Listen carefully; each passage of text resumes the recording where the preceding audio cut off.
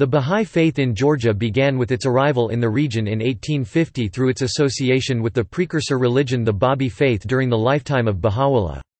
During the period of Soviet policy of religious oppression, the institutions of the Baha'is in the Soviet republics were progressively dissolved and so disappeared from communication with Baha'is elsewhere.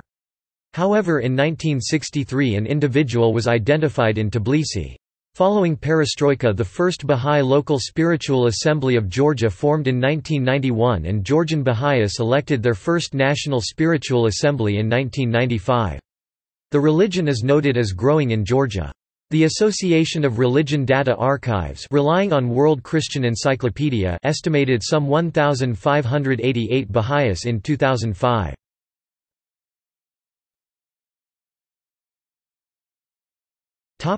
Early period From 1850 onwards, small groups of Babis spread across the Caucasus including Georgia. Jamshid I Gurji is a noted member of the religion from Georgia who lived in the lifetime of Baha'u'llah.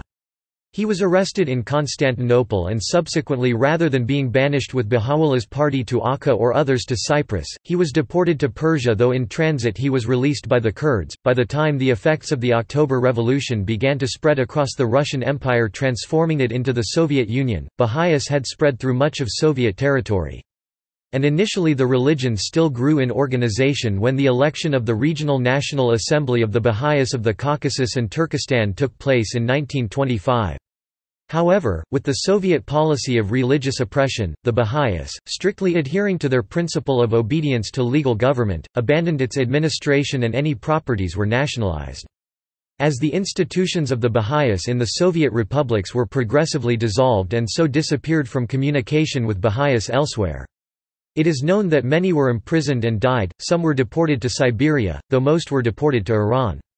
In 1953 Baha'is started to move to the Soviet republics in Asia, after the head of the religion at the time, Shoghi Effendi, initiated a plan called the Ten-Year Crusade.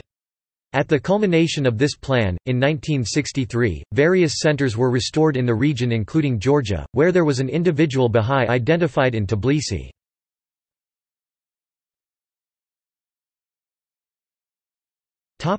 Modern community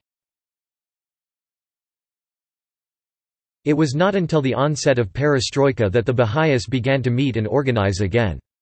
The first local spiritual assembly of Georgia to form was in 1991 in Tbilisi.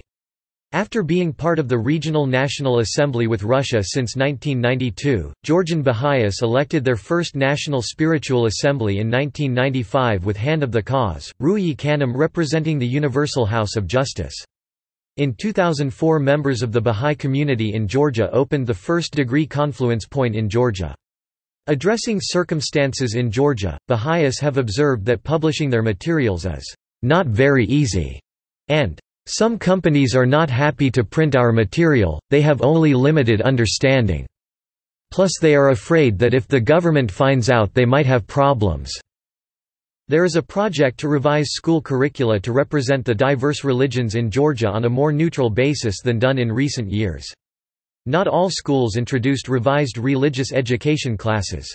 About half the schools in Tbilisi have these classes. The Bahá'í Faith is among the religions with a small following who function unobtrusively and have mainly tended to be able to operate without much hostile government attention. Some 47 Georgian Baha'is traveled to Baku to be among the 360 participants in a regional conference of the religion in 2009.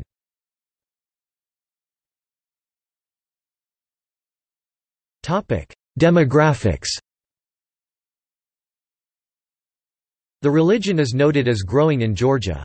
The Association of Religion Data Archives relying on World Christian Encyclopedia estimated some 1,588 Baha'is in 2005.